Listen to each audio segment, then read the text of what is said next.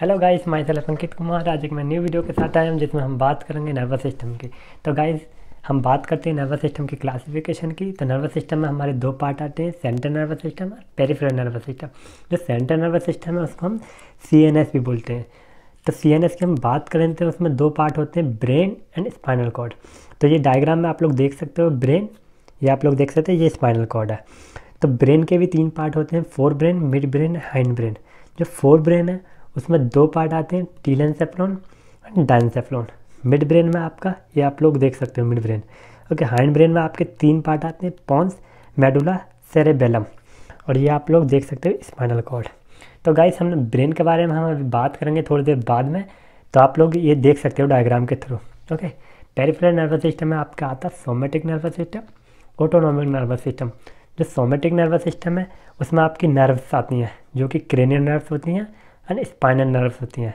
जो cranial nerves हैं, वो आपकी ट्वेल्व पेयर होती हैं, जिनके नाम ऑप्टिक फेशियल ऑल फैक्ट्री ये सब मैं बाद में बात करूँगा। इसके लिए मैं एक अलग से वीडियो बनाऊँगा ओके जो स्पाइनल नर्व है, उसकी थर्टी वन पेयर होती हैं ओके जो आप बात करते हैं ऑटोनॉमिक नर्वस सिस्टम जैसे ए भी बोलते हैं। एएनएस में क्या आपके दो पार्ट होते हैं? Sympathetic nervous system parasympathetic nervous system या तो सिंपेथेटिक ऑटोनॉमिक नर्वस सिस्टम भी बोल देते हैं और पैरासिम्पेथेटिक ऑटोनॉमिक नर्वस सिस्टम भी बोल देते हैं। जो सिंपेथेटिक नर्वस सिस्टम है, आपका काम करता है, जैसे स्ट्रेस हुआ फाइट के टाइम पे, गुस्से के टाइम पे, खाने की चीज़ देखते हैं, तब भी आपका सलाइवा आ जाता, उस टाइम भी आपका सिंपेथेटिक नर्वस सिस्टम काम करता।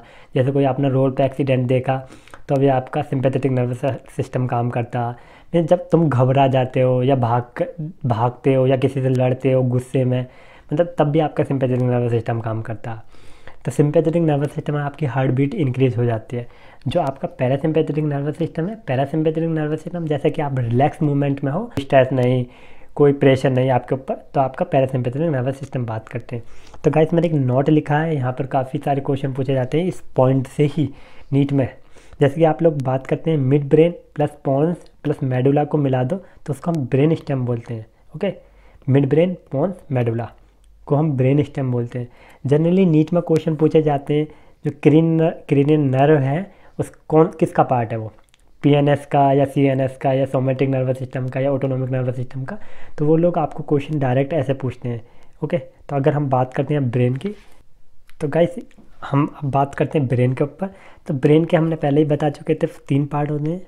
मतलब ब्रेन में तीन पार्ट होते हैं fore brain mid brain and hindbrain जो फोर ब्रेन है, उसको हम प्रोजन सेफ्लॉन बोलते हैं।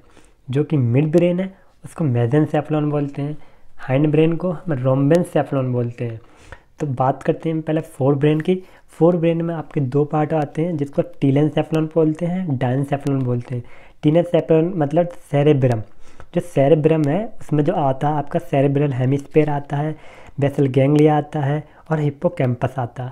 और जो डायनसेफ्लॉन है, उसमें आपके थैलेमस हाइपोथैलेमस मेटाथैलेमस सब थैलेमस जितने भी सारे थैलेमस हैं। एपीथैलेमस सब डायनसेफ्लॉन में आता है जो डायरेक्टली नीट में पूछा जाता है कि hypothalamus is a part of forebrain midbrain hindbrain तो आप लोगों को याद रखना कि हाइपोथैलेमस हो या मेटाथैलेमस हो, वो फोर ब्रेन का पार्ट है।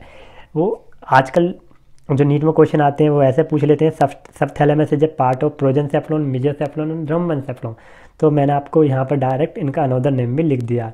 जो फोर्थ ब्रेन है, उसको हम प्रोजन सेफ्लोन भी बोलते हैं। तो बात करते हैं हम सेरेब्रम की।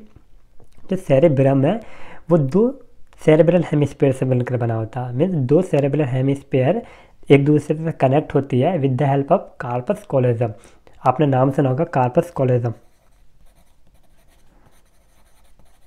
कार्पस कोलेजम क्या करती है?